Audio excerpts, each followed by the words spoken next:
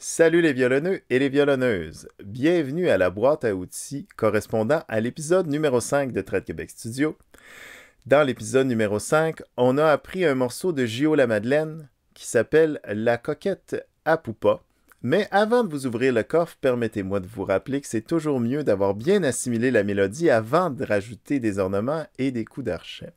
Je voudrais aussi vous rappeler de vous abonner à la chaîne YouTube si vous ne l'avez pas déjà fait. Ça l'aide vraiment pour la diffusion de ma chaîne sur la plateforme de YouTube. Je voudrais aussi dire un petit mot sur ma page de créateur sur Patreon. Maintenant, il y a à peu près 80 billets de blog qui représentent chacun un morceau. Chaque billet de blog a un vidéo, un petit historique de cette tune-là et les partitions, évidemment, qui vont avec.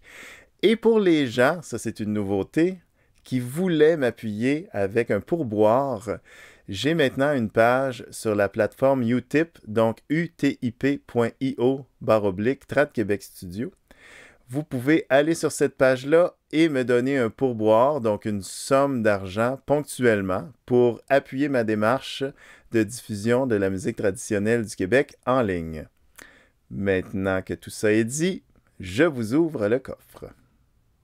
La coquette à Poupa, un air à giguer.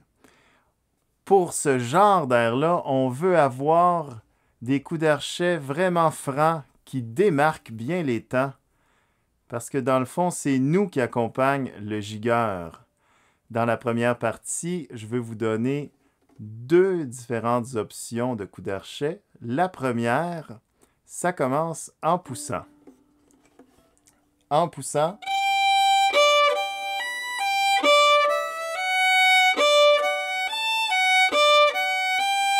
On commence en poussant, puis on va tirer tout de suite après. Toutes les notes qui suivent sont en poussant. Pousse, tire, pousse, pousse, pousse tire, pousse, pousse, tire, pousse, pousse, pousse, tire, pousse, pousse. Donc, ce qui arrive, c'est que les seules notes en tirant, c'est sur la corde de La.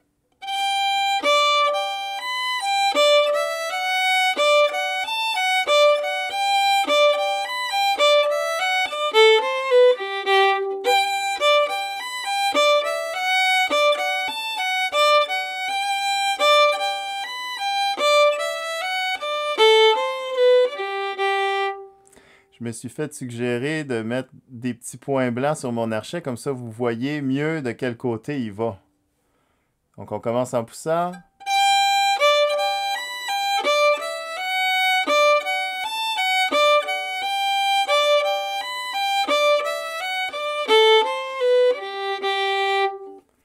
Ça, c'est la première chose.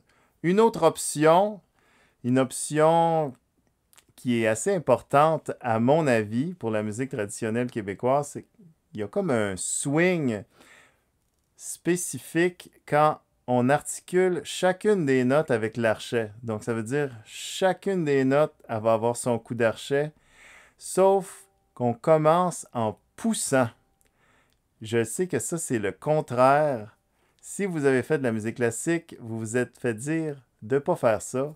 Moi, je n'ai pas fait de musique classique. Et ce son-là, le son de commencer en poussant, je l'entends, ça donne un groove spécial. Je vous fais un exemple.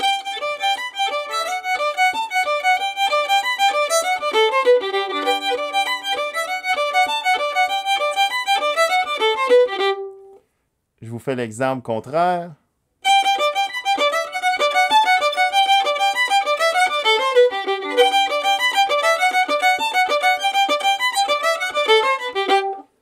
Je reviens en poussant.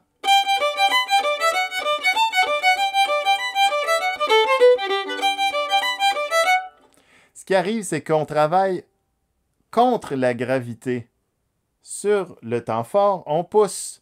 Ça donne une espèce de légèreté dans le swing.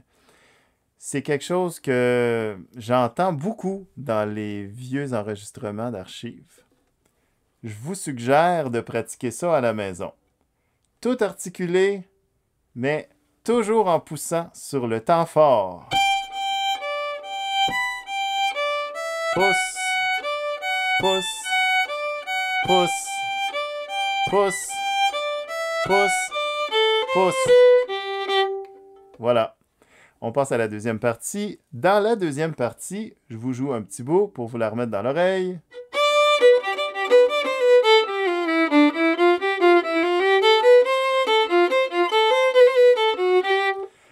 On a de particulier deux arpèges majeurs avec un ton de différence entre les deux.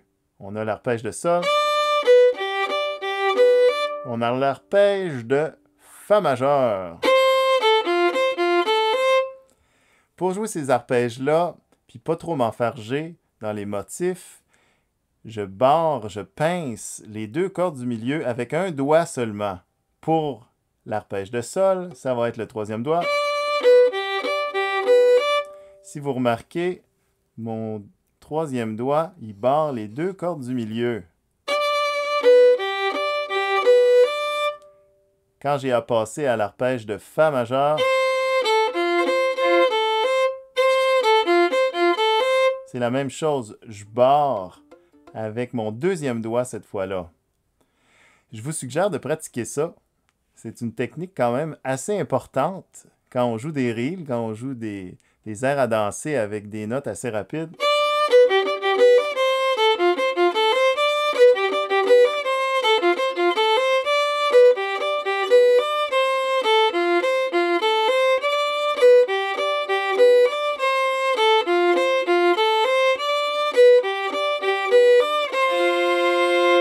Ça va aussi vous permettre de jouer des accords comme ça à deux notes.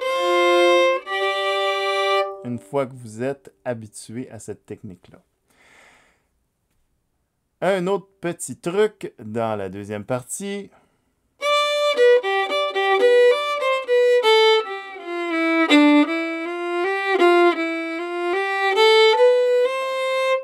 On retrouve ce coup d'archet-là qui est un tiré trois poussées. Moi, je commence ce coup d'archet-là à partir du La ouvert en descendant au tout début de la deuxième partie. À partir de là, je tire, puis trois poussées, tire, pousse, tire, pousse, jusqu'à temps que j'arrive au motif d'arpège de Fa. Je vous rejoue ça sans parler.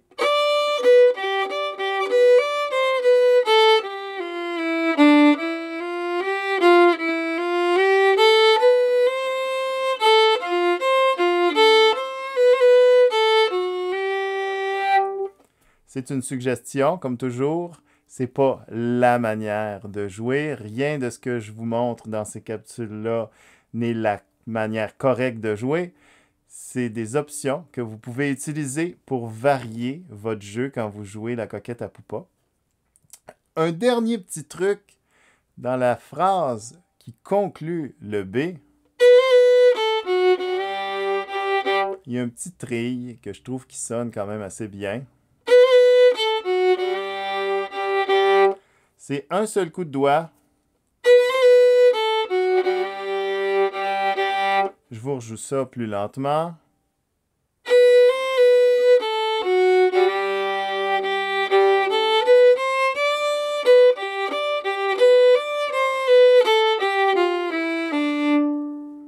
Je vous rejoue tout ça plus lentement.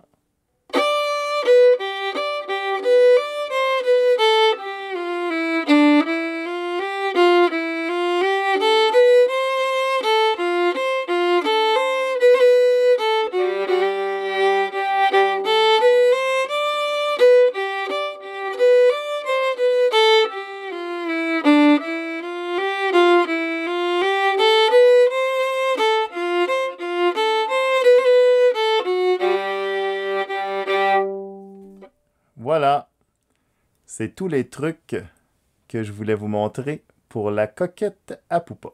Bonne pratique. C'est déjà tout pour la boîte à outils numéro 5 de Trade Québec Studio. J'espère que tous ces petits trucs-là vont vous donner plein d'heures de plaisir et de pratique. Je vous rappelle la nouveauté maintenant. vous pouvez aller m'appuyer par un pourboire ponctuel sur ma page Utip pour Trad Québec Studio, donc utip.io barre oblique Studio. Il y a aussi la page de créateur sur Patreon, même nom Trad Québec Studio.